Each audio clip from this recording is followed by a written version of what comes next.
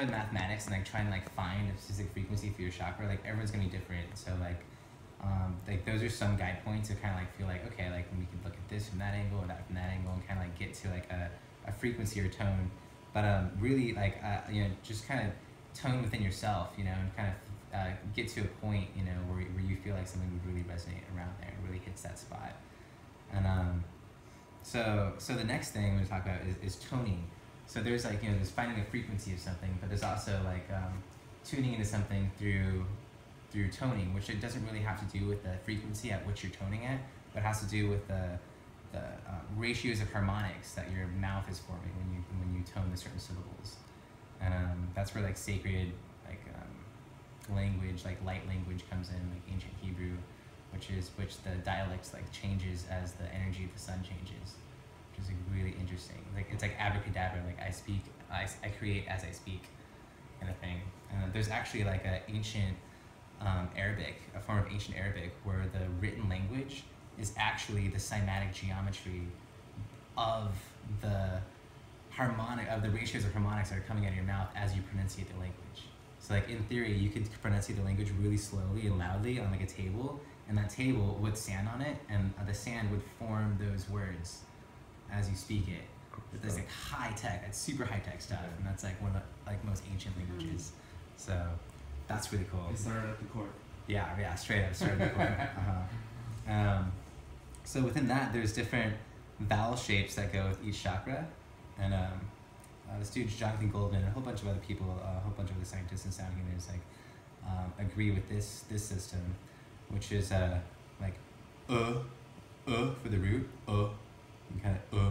I'm gonna get uh uh uh uh uh uh uh for the sacral, uh oh oh for the for the solar plexus. And it's like really like round and you know like a sun like oh like as round as you could be even like like like deep you know like powerhouse deep deep throat and oh oh is really good. It's really good for uh for that. And what that does you know like entrainment you know like we're like we're um, uh, making these sounds to like to harmonize with certain things inside our body that's like just harmonizing with that and giving it more more energy like through sound so it can uh, resonate at a, a louder amplitude if that like makes sense Yes. um, cool. And um, also Ram. Ram is the Sanskrit syllable for Mhm. uh, for the solar plexus. And uh, a lot of them, I mean, all, I think all of the Sanskrit syllables have ah, and they all like start and stop with different syllables. So that's really interesting. Ram, Ram. You know, it's pretty powerful. R, like a roar. It's pretty cool. Mhm.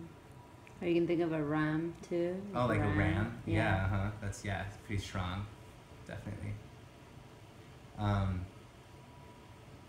cool. So so yeah, so um do you guys want to experience like chanting a li- or oh toning a little bit? Sure. See how see how we feel? Yep. Okay, cool. Alright. So we're gonna go like oh, oh, for the solar plexus chakra. Okay. So is it coming from deep within you? It's Yeah, yeah. Feel yeah. Like, breathe, breathe, breathe into your your tend to speak diaphragm. Really. Uh huh. Uh, you can yeah. Huh? As, as you can uh. feel the energies here. Just like let's just mm. try like going up and down like with our voice, and you can just kind of put your hand on your body and feel like where you feel the resonance. You know, like. Uh,